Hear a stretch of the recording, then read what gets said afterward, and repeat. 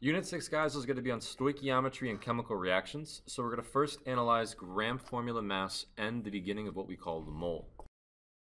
So in this video, we're going to analyze simply what is a mole, which is a chemistry term, and then we're going to look at finding the gram formula mass for elements and compounds. So to start off, a mole, represented by MOL, represents a very specific amount in chemistry. So if you think that a dozen eggs specifically is 12, or a pair of shoes is going to be two shoes, a mole in chemistry represents many things.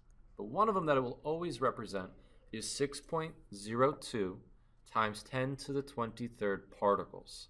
We call this Avogadro's number, and we'll be getting into this number later on in the unit. So at the moment, please take out your reference tables and copy this down next to table T.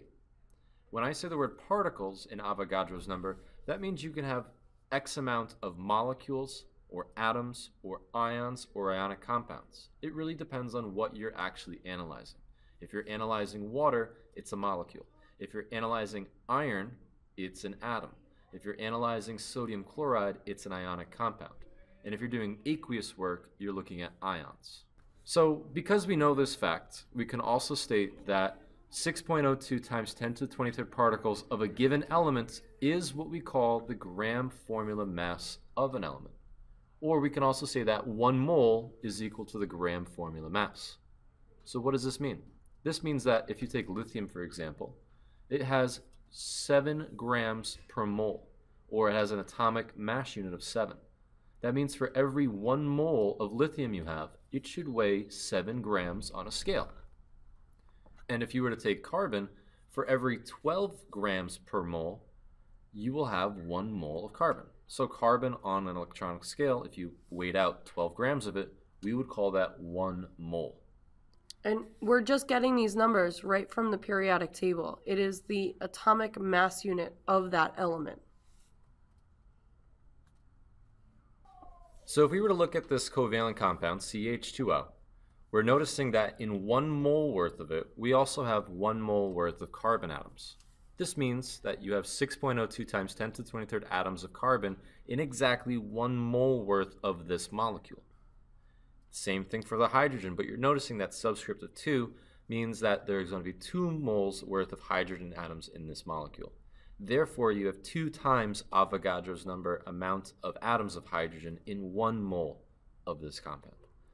And finally, with again no subscript, you're noticing that there's 1 mole worth of oxygen atoms in this molecule. So we also notice that in this entire molecule, we have 6.02 times 10 to the 23rd atoms of oxygen in 1 mole of CH2O.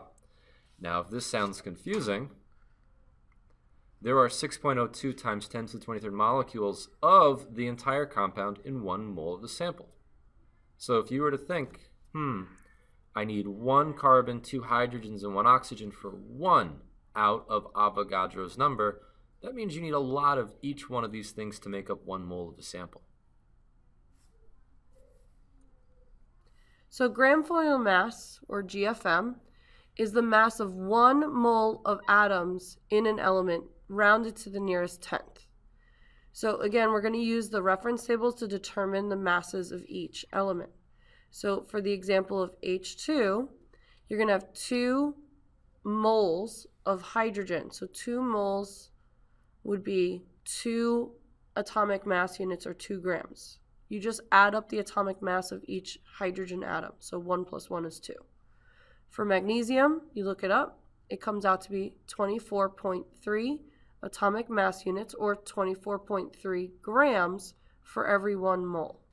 For chlorine, it's for one mole, you're going to have 71.0 because each chlorine atom has a mass of 35.5 atomic mass units.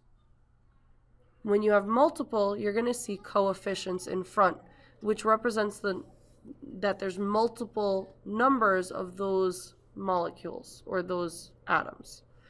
So in the first example, we see no coefficient, so no number in front, so we represent that by 1.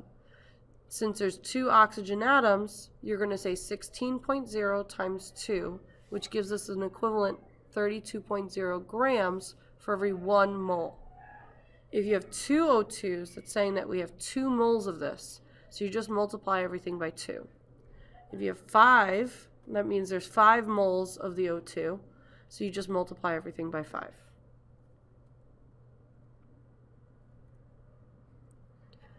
So the gram molar mass for a compound or a molecule are similarly done, except you add up everything that's in the compound.